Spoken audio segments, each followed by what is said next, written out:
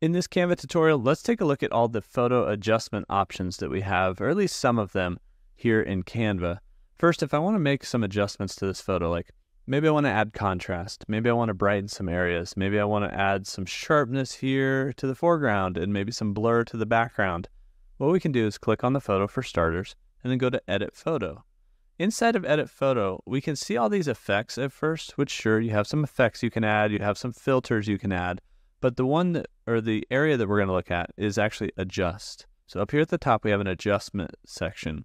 In this tab, we have so many different options. We can click this auto adjust button right off the bat. So if we click on that, we can actually see it makes some auto adjustments right away. We'd increase the intensity or decrease the intensity of that adjustment or any of the adjustments that we make here. Uh, or we can unclick that or click it again and make the auto adjust go away, I should say. Now, as we move our way down, we actually, like I said, we can make adjustments to the whole image, or we can adjust just the foreground or adjust just the background. So if I click on background, it's going to take a look at the background and kind of figure out what the foreground should be, which should be these two people. And then if I want to, I could actually scroll down to clarity or something and maybe reduce the clarity of the background to make our subjects pop. Or I could come up here and reduce the sharpness of the background, which would be like adding blur. We could increase the sharpness, but we don't want that. We're going to reduce the sharpness a little bit, which adds a little bit more blur behind our subjects. Now, what if we select the foreground? We could do the opposite. We can increase the sharpness of the foreground a little bit. Maybe not too much, but maybe just a touch, right? Just a little bit. And now our subject kind of pop off that. We can increase the clarity just a little bit. And then what we have here is white balance, which gives us a tint to our image tint, of course, as well. So we have temperature and tint. We have light, so brightness, contrast, highlights, shadows, the whites and the blacks.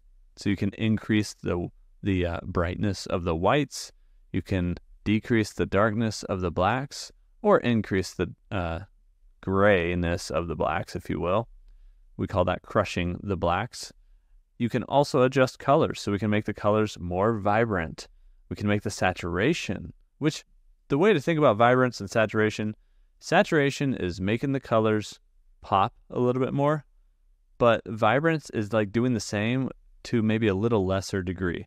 And there's probably a more technical way, but that's the way that I remember them. If I want to just make a tiny tweak, I would just adjust vibrance a little bit. It usually looks way more natural. And then we have this texture section like vignetting, clarity, sharpness, etc.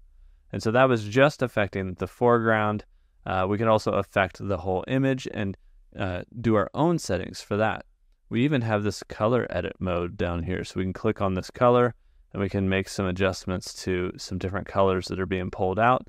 So for instance, if I wanted to, I could adjust uh, these two colors that are sort of, they're sort of automatically picked out of my image. So it'd be like a skin tone and then maybe the, you know, major, I guess, other tone that's in the image. So in this case, it would be like his suit jacket, kind of that blue, which we could pull or desaturate a little bit there. Um, I believe if we also select on the image now, we can't select the image itself. So these two are just kind of picked for you from what I can tell. That's our photo adjustment. So if you weren't sure how to like add contrast to your whole image, you can do that right here in the photo adjustment area. And you can make all these tweaks here to make your image pop a little bit more here in Canva.